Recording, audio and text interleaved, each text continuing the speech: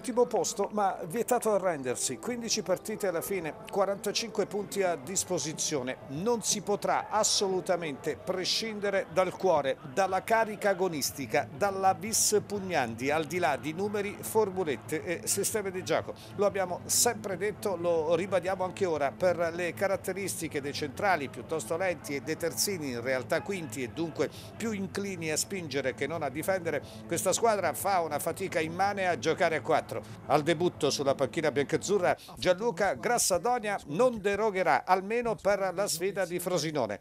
3-5-2, il probabile 11, Fiorillo Trepali, nel cuore della difesa con Scognamiglio e l'ex Sasà Bocchetti, Gut o Drudi, infortunatosi un girone fa lo scorso 24 ottobre proprio col Frosinone all'Adriatico. Bellanova e Masciangelo sulle fasce, a metà campo forse Macin nel ruolo di interno, in realtà un ritorno al passato. Valdifiori in cabina di regia, Busellato al rientro dopo la squalifica, mezzala destra, davanti Galano con Odd Odgard. Indisponibili Memushai, Rigoni, Riccardi, Sorensen, Giannetti, Setter e lo squalificato Balzano. Credo in un'organizzazione di gioco, credo nel lavoro settimanale, cercare di migliorare eh, la lunghezza tra i reparti, eh, cercare di capire cosa bisogna fare in mezzo al campo. Insomma, questa è una squadra che ha qualità ed è per questo che ho accettato con grandissimo entusiasmo questa sfida perché sono convinto che ci siano tutti i presupposti per cercare di lottare fino alla fine e di arrivare all'obiettivo. Affrontiamo una squadra esperta, una squadra che ha qualità, una squadra che gioca insieme da un paio d'anni, eh, in settimana ha fatto una vittoria importante e noi dobbiamo giocare da Pescara, darcela a giocare conoscendo quali sono i nostri pregi, in questo momento i nostri difetti, ma con il coltello tra i denti.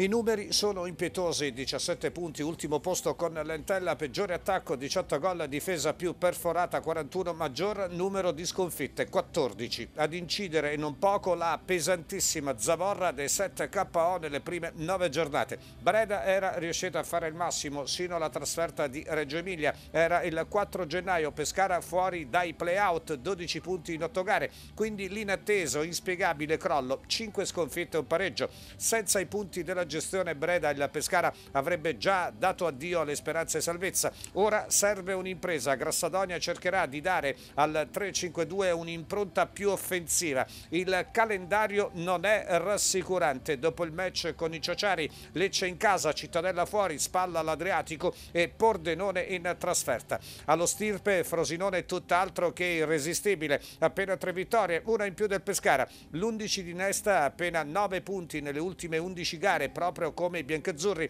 Non vince in casa dal 5 dicembre 3-2 col Chievo ed è tornato a flirtare col successo domenica scorsa 3-2 sul campo dell'Entella. Indisponibili Ciano, Millico, Tribuzzi, Brignola e Delia. Il probabile 11 Bardi Trepali, Brighenti o Simischi, Ariaudo e Capuano in difesa. Salvi e Zampano sulle fasce, Rodien, Maiello e Castanos a centrocampo in attacco il tandem Iemmello Novakovic. 4 4 gli ex Capuano, Zampano, Castanos e Carraro, 11 i precedenti a Frosinone, 5 vittorie, altrettanti pareggi, un solo successo del Delfino, quasi 70 anni fa, in quarta serie dicembre 1951, 0-1 gol di Palpacelli. Nelle immagini 20 novembre 2010, Serie B, il giorno dell'esordio di Marco Capuano, terzino sinistro nel 4-5-1 disegnato da Eusebio Di Francesco. Si gioca per 45 minuti, campo impraticabile, causa pioggia,